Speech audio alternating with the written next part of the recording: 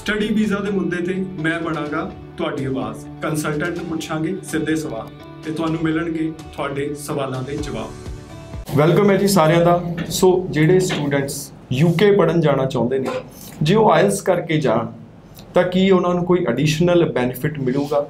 ਬਿਨਾ ਆਇਲਸ ਜਾਇਆ ਜਾ ਸਕਦਾ ਹੈ, ਬੜੀਆਂ ਸਾਰੀਆਂ ਆਪਸ਼ਨਸ ਨੇ, ਉਹ ਤੁਸੀਂ ਸਾਰੇ ਜਾਣਦੇ ਹੋ, ਪਰ ਆਇਲਸ ਦੇ ਕੀ ਐਡੀਸ਼ਨਲ ਬੈਨੀਫਿਟ ਮਿਲਦੇ ਨੇ, ਇਹ ਜ਼ਿਆਦਾਤਰ ਸਟੂਡੈਂਟਸ ਨੂੰ ਨਹੀਂ ਪਤਾ। ਸੋ ਅੱਜ ਦੇ ਇਸ ਸ਼ੋਅ ਦੇ ਵਿੱਚ ਸਾਰੀਆਂ ਗੱਲਾਂ ਡਿਸਕਸ ਕਰਾਂਗੇ।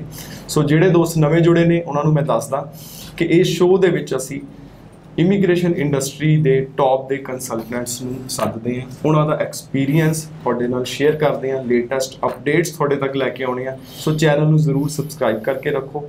ਅੱਜ ਦੇ ਸਾਡੇ ਜਿਹੜੇ ਐਕਸਪਰਟ ਨੇ ਬ੍ਰੌਡਵੇ ਇਮੀਗ੍ਰੇਸ਼ਨ ਦੇ ਮੈਨੇਜਿੰਗ ਡਾਇਰੈਕਟਰ ਅਮਰਜੀਤ ਸਿੰਘ ਕੰਵਰ ਨੇ, ਜਿਨ੍ਹਾਂ ਨੂੰ ਤੁਸੀਂ ਵੱਖ-ਵੱਖ ਸੋਸ਼ਲ ਮੀਡੀਆ ਪਲੇਟਫਾਰਮਸ ਤੇ ਵੀ ਦੇਖਦੇ ਹੋ। ਸਵਾਗਤ ਹੈ ਜੀ। ਥੈਂਕ ਯੂ ਦੀਪਕ ਜੀ। ਪ੍ਰੋਗਰਾਮ ਦੇਖ ਰਹੇ ਸਾਰੇ ਦੋਸਤਾਂ ਨੂੰ। ਮੇਰੇ ਵੱਲੋਂ ਸਤਿ ਸ਼੍ਰੀ ਅਕਾਲ। ਸੋ ਅਮਰਜੀਤ ਜੀ ਯੂਕੇ ਚ ਜੇ ਆਇਲਸ ਕਰਕੇ ਜਾਇਆ ਜਾਵੇ, ਤਾਂ ਕੀ ਐਕਸਟਰਾ ਬੈਨੀਫਿਟ ਸਟੂਡੈਂਟਸ ਨੂੰ ਹੁੰਦੇ ਨੇ? ਦੇਖੋ ਬੇਸਿਕਲੀ ਤਾਂ ਵਿਦਆਊਟ ਆਇਲਸ ਯੂਕੇ ਪੋਸੀਬਲ ਹੈ, ਕੋਈ ਮੁਸ਼ਕਲ ਨਹੀਂਗੀ। ਪਰ ਕੰਡੀਸ਼ਨ ਕੀ ਹੁੰਦੀ ਹੈ ਜਦੋਂ ਆਪਾਂ ਵਿਦਆਊਟ ਆਈਲੈਟਸ ਦੀ ਗੱਲ ਕਰਦੇ ਹਾਂ? ਤਾਂ ਕੰਡੀਸ਼ਨ ਹੁੰਦੀ ਹੈ ਕਿ ਤੁਹਾਡੇ ਪਲੱਸ 2 ਦੇ ਇੰਗਲਿਸ਼ ਸਬਜੈਕਟ ਦੇ ਸਕੋਰ ਦੇਖੇ ਜਾਂਦੇ ਨੇ। ਜੇ ਤੁਸੀਂ ਪੰਜਾਬ ਬੋਰਡ ਜਾਂ ਕੋਈ ਵੀ ਸਟੇਟ ਬੋਰਡ ਹੋ, ਤੁਹਾਡੇ ਕੋਲ ਇੰਗਲਿਸ਼ ਦੇ 80% ਸਕੋਰ ਦਾ ਹੋਣਾ ਲਾਜ਼ਮੀ ਹੋ ਜਾਂਦਾ ਹੈ।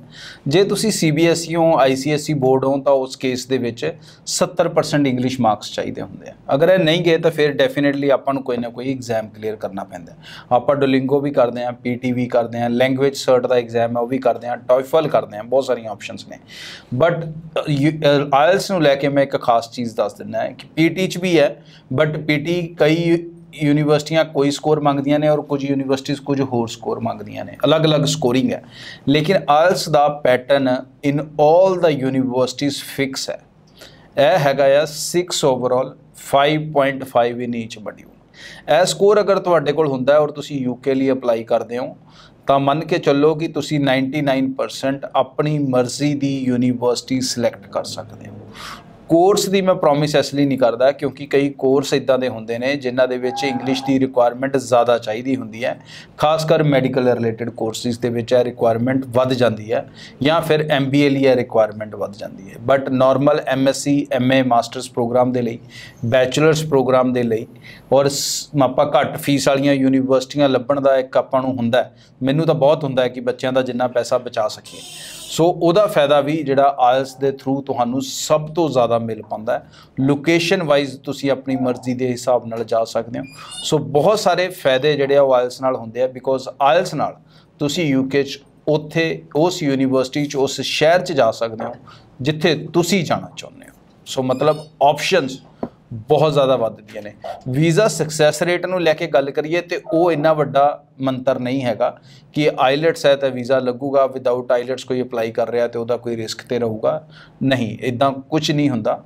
ਤੁਸੀਂ ਸਿੱਧੇ ਅਪਲਾਈ ਕਰ ਸਕਦੇ ਹੋ। ਤੁਹਾਨੂੰ ਆਹ ਬੈਨੀਫਿਟ ਜ਼ਰੂਰ ਮਿਲ ਜਾਂਦੇ ਨੇ ਕਿ ਤੁਸੀਂ ਕੁਝ ਐਸੀਆਂ ਯੂਨੀਵਰਸਿਟੀਆਂ 'ਚ ਵੀ ਅਪਲਾਈ ਕਰ ਪਾਉਂਦੇ ਹੋ ਜਿਨ੍ਹਾਂ 'ਚ ਕੋਈ ਇੰਟਰਵਿਊ ਨਹੀਂ ਹੁੰਦੀ। ਇੰਟਰਵਿਊ ਨਾ ਹੋਣਾ ਮਤਲਬ ਤੁਹਾਡਾ ਪ੍ਰੋਸੈਸ ਫਾਸਟ ਚੱਲਦਾ ਹੈ। ਆਫਰ ਲੈਟਰ ਆਉਂਦੀ ਹੈ ਫੀਸ ਭੇਜਦੇ ਹੋ ਫੀਸ ਭੇਜੀ, ਆਪਣੇ ਕਾਸ ਦੀ ਰਿਕੁਐਸਟ ਭੇਜਦੇ ਹੋ, ਕਾਸ ਆ ਜਾਂਦੇ ਆ ਔਰ ਐਮਬੈਸੀ ਅਪਲਾਈ ਹੋ ਜਾਂਦਾ ਔਰ ਐਮਬੈਸੀ ਦਾ ਇੰਟਰਵਿਊ ਹਾਰਡਲੀ 5% ਲੋਕਾਂ ਦਾ ਹੀ ਹੁੰਦਾ। ਸੋ ਆ ਜਿਹੜਾ ਇੱਕ ਬੈਨੀਫਿਟ ਆ ਬਹੁਤ ਵੱਡੇ ਲੈਵਲ ਤੇ ਤੁਸੀਂ ਵਿਦ ਆਇਲਸ ਹੋ ਕੇ ਯੂਕੇ ਤੋਂ ਲੈ ਸਕਦੇ ਯੂਨੀਵਰਸਿਟੀ ਦਾ ਇੰਟਰਵਿਊ ਨਾ ਆਉਣਾ ਵੀ ਬਹੁਤ ਸਾਰੇ ਸਟੂਡੈਂਟਸ ਇਹਨੂੰ ਇੱਕ positive ਲੇਕਿਨ ਇਹ ਨਾਲ ਹੋਰ ਵੀ ਅਲਟਰਨੇਟਿਵ ਐਗਜ਼ਾਮ ਨਾਲ ਵੀ ਆਪਸ਼ਨ ਅਵੇਲੇਬਲ ਹੁੰਦੀਆਂ ਨੇ। ਮੇਰਾ ਜਸਟ ਮਕਸਦ ਸੀਗਾ ਕਿ ਤੁਹਾਨੂੰ ਪਤਾ ਲੱਗ ਸਕੇ ਕਿ ਆਇਲਸ ਨਾਲ ਜਿਹੜੇ ਬੱਚੇ ਅਪਲਾਈ ਕਰਦੇ ਔਰ ਜਿਨ੍ਹਾਂ ਨੇ ਆਇਲਸ ਨਾਲ ਨਹੀਂ ਅਪਲਾਈ ਕੀਤਾ ਤਾਂ ਕਈ ਵਾਰੀ ਉਹਨਾਂ ਦੇ ਪ੍ਰੋਸੈਸ 'ਚ ਫ਼ਰਕ ਆ ਜਾਂਦਾ ਹੈ ਜਾਂ ਆਪਸ਼ਨ 'ਚ ਫ਼ਰਕ ਆ ਜਾਂਦਾ ਤੇ ਕਿਉਂ ਆ ਜਾਂਦਾ ਹੈ? ਕਿਉਂਕਿ ਆਇਲਸ ਨੂੰ ਹਰ ਇੱਕ ਯੂਨੀਵਰਸਿਟੀ ਅਸੈਪਟ ਕਰਦੀ ਹੈ। ਸੋ ਬਹੁਤ ਬਹੁਤ ਧੰਨਵਾਦ ਅੱਜ ਸਾਡੇ ਨਾਲ ਜੁੜਨ ਵਾਸਤੇ। ਥੈਂਕ ਯੂ ਜੀ। ਸਟੱਡੀ ਵੀਜ਼ਾ ਦੇ ਮੁੱਦੇ ਤੇ ਮੈਂ ਬਣਾਗਾ ਤੁਹਾਡੀ ਆਵਾਜ਼। ਕੰਸਲਟੈਂਟ ਨੂੰ ਪੁੱਛਾਂਗੇ ਸਿੱਧੇ ਸਵਾਲ ਤੇ ਤੁਹਾਨੂੰ ਮਿਲਣਗੇ ਤੁਹਾਡੇ ਸਵਾਲਾਂ ਦੇ ਜਵਾਬ।